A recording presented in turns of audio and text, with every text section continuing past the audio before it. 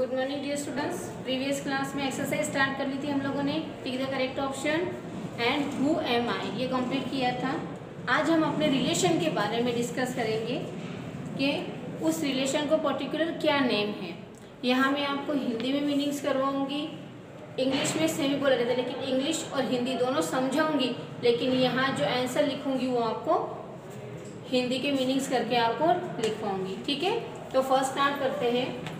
Your father's father is your अब मुझे बताओ, आपके पिताजी के पिताजी, आपके क्या लगेंगे?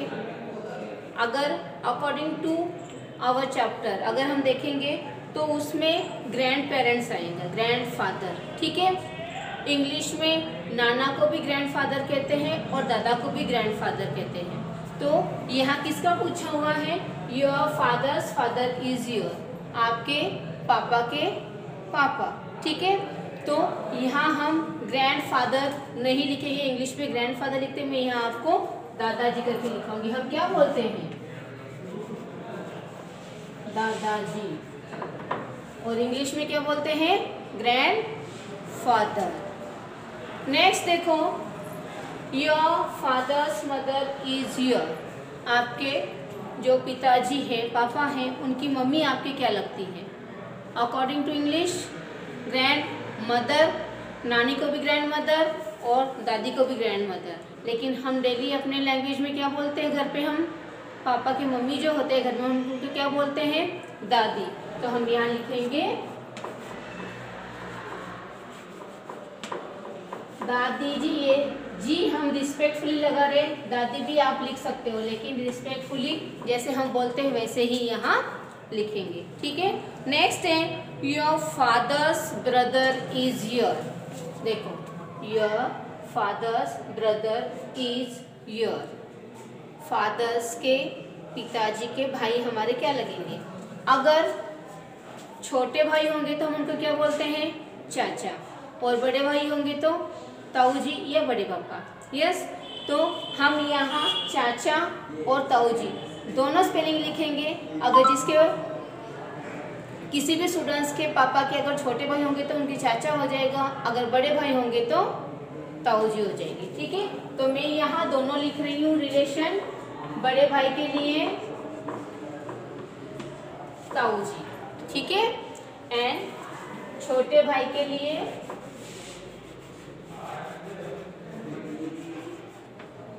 चाचा जी और यही इंग्लिश में इसको क्या बोलेंगे? अंकल।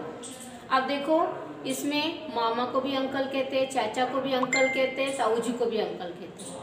यानी सबका रिलेशन इंग्लिश में क्या आएगा? सिर्फ़ अंकल।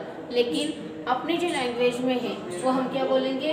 अगर मैं आपको अंकल लिखाऊँगी तो आप सबको अंकल बोलोगे, लेकिन अपने को ये डेली लाइफ में ये रिलेशन समझ में आना बहुत ज़रूरी है। इसीलिए मैं आपको ये हिंदी में लिखवा रही हूँ, ताकि आपको आपके घर में रहने वाले मेंबर्स के साथ क्या रिलेशन है, ये समझ में आ जाएगा। ठीक है?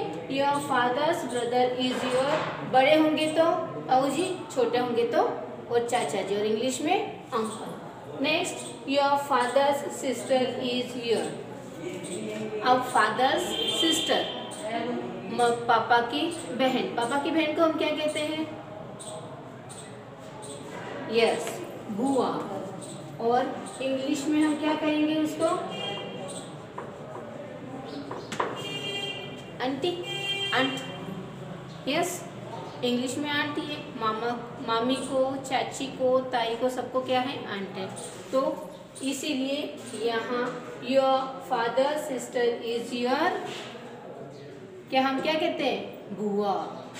ओके बुआ जी यहाँ पे भी हम रिस्पेक्टफुली लिख देंगे ताकि हम क्या करते हैं, बुआ जी बोलते हैं या बुआ ही बोलते हैं, छोटे हो तो बुआ बोलते हैं ना, बड़े होते हैं बुआ तो इसीलिए बुआ जी। Understand next your mother's brother is your आपके मम्मी के भाई आपके क्या लगेंगे? डेली की लैंग्वेज में अगर बोले तो हम उनको क्या बोलते हैं? मामा। लेकिन इंग्लिश में अंकल इसीलिए आप हम यहाँ लिख देंगे M A M A J I मामा जी। ओके? मम्मी के जो भाई है, उसे हम क्या कहते हैं? मामा जी। और इंग्लिश में? यस इंग्लिश में uncle. Next your mother's sister is your mummy की जो बहन रहती है, उसे हम क्या कहते हैं? कोई मासी कहता है, कोई मौसी कहता है। ओके?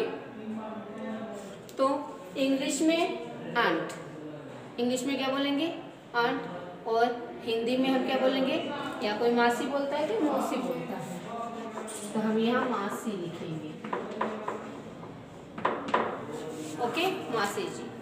यानी your mother sister is your masi. आपकी मम्मी की बहन आपकी मासी लगेगी।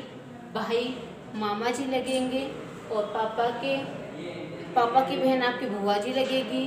देन पापा के भाई ताऊ जी या चाचा जी लगेंगे, पापा के मम्मी पापा, दादा दादी लगेंगे। मम्मी के, मम्मी पापा जो होते हैं, वो क्या होते हैं? नाना नानी। जो यहाँ दिया हुआ नहीं है, लेकिन आप ये ध्यान रखना, मम्मी के जो पेरेंट्स होते हैं, मम्मी पापा, उनको हम क्या कहते हैं? नाना नानी। अब देखो your uncles children are your अब अंकल्स चिल्ड्रन अंकल्स में मामा भी आता है, चाचा भी आते हैं ताऊ जी भी आते हैं, ठीक है? तो अब उनको हम क्या बोलेंगे? अब यहाँ बहुत बड़ा हो जाएगा चचेरा भाई मेरा भाई, बहन, ओके? तो हम क्या करेंगे यहाँ?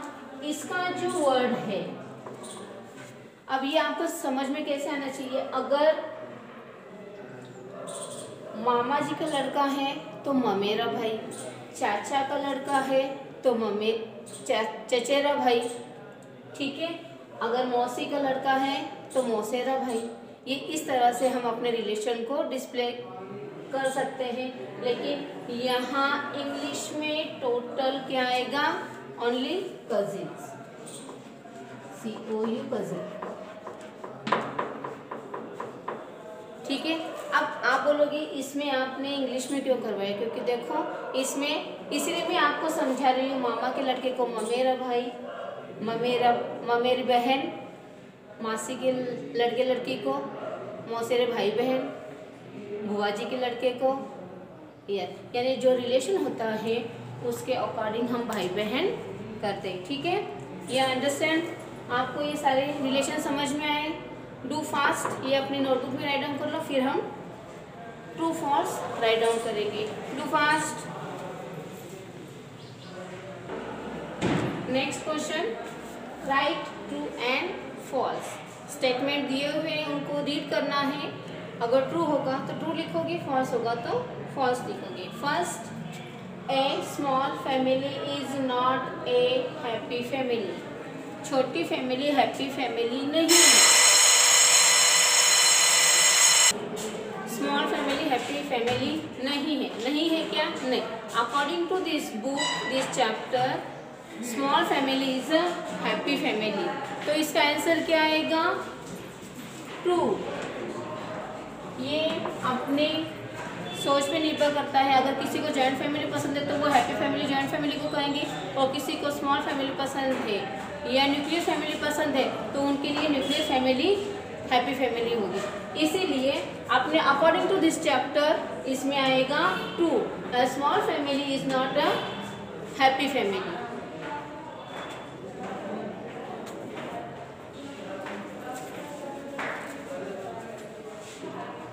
sorry false आएगा इसमें नॉट आया हुआ है. This is my mistake okay a small family is not a happy family क्या आएगा? फॉल्स नेक्स्ट है parents with more than two children make a small family small family की डेफिनेशन क्या है? Parents and two children one और two children okay और यहाँ बोला हुआ है parents with more than two children दो बच्चों से ज़्यादा बच्चे रहते हैं। उस फैमिली को हम क्या कहते हैं? बिग फैमिली कहते हैं ना कि स्मॉल फैमिली तो यह क्या आएगा? False next parents with more than two children make a big family जिस फैमिली में दो से ज़्यादा बच्चे होते हैं, उस फैमिली को बिग फैमिली कहा जाता है। इज़ दिस ट्रू यस क्योंकि बिग फैमिली की डेफिनेशन ही यही है। क्या? A parents with more than two children okay दो से ज़्यादा बच्चे और उनके पेरेंट्स एक साथ रहते हैं, उसे क्या कहते हैं? बिग फैमिली तो यहाँ इसका आंसर आएगा T R U E true next parents with many children में a joint family parents with many children parents और बहुत से बच्चे.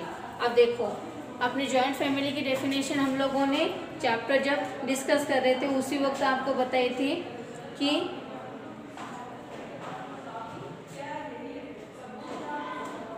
जॉइंट फैमिली में grandparents parents uncle aunty ये सारे रहते हैं। तो उसे हम क्या कहते हैं? Joint family parents with many children बहुत बच्चे। नो तो क्या आएगा यहाँ? फॉल्स ये आप क्यों? अपनी नोटबुक में नीट एंड क्लीन हैंडराइटिंग में राइट डाउन करने हैं। अब नेक्स्ट पीरियड में अपने बचे हुए हैं। आंसर द फॉलोइंग क्वेश्चन वो हम कंप्लीट करेंगे। तब तक के लिए थैंक यू बच्चों।